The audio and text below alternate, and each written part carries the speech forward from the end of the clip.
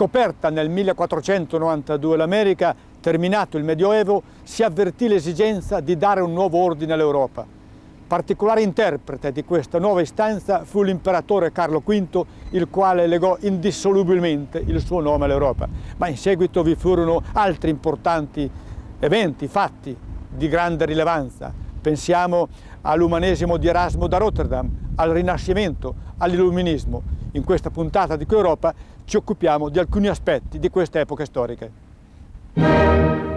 Conclusosi con la scoperta dell'America nel 1492, il periodo di dieci secoli di Medioevo, con il cristianesimo, fautore di unificazione in Europa, già agli albori dell'età moderna ed in tempi successivi, vi furono uomini e si svilupparono correnti di pensiero che segnarono passi ed orientamenti di unificazione nel vecchio continente, al di sopra di ogni confine.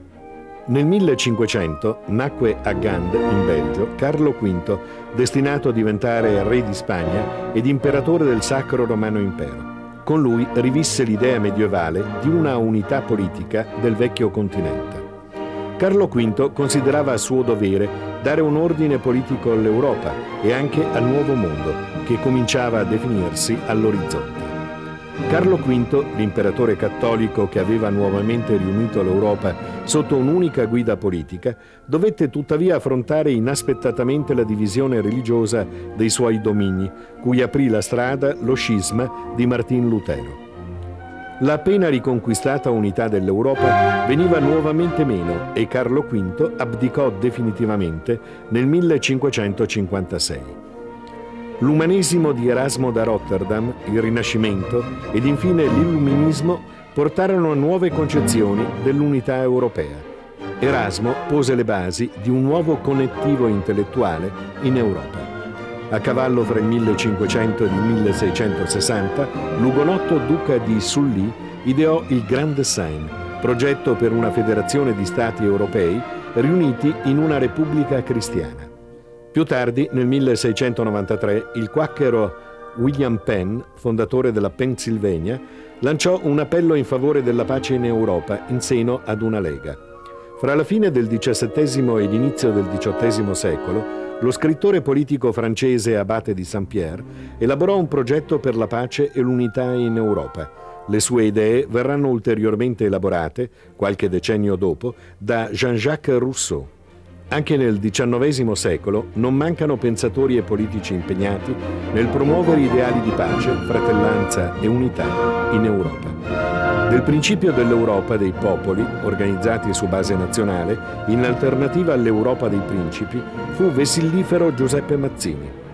All'inizio del XX secolo, fra coloro che hanno primeggiato per lungimiranza e tenacia Nell'anticipare l'esigenza di unificazione europea, ricordiamo il conte Richard Kudenov-Kalergi e Aristide Briand. Kudenov-Kalergi, nell'ottobre del 1923, pubblicò a Vienna il libro Paneuropa e subito dopo fondò l'Unione Paneuropea. Aristide Briand, politico francese, fu straordinario promotore di una politica di riconciliazione con la Germania e formulò un progetto per una federazione europea. Molti sono stati dunque, in varie epoche, i fermenti di unità europea. Grandi personaggi dunque, importanti eventi che hanno lasciato forti segni nella storia d'Europa, ma in seguito, nei secoli successivi, vi sono stati altri avvenimenti, altri modi di pensare che hanno influito in termini determinanti sul sulla concezione stessa di carattere sociale, politico e territoriale dell'Europa.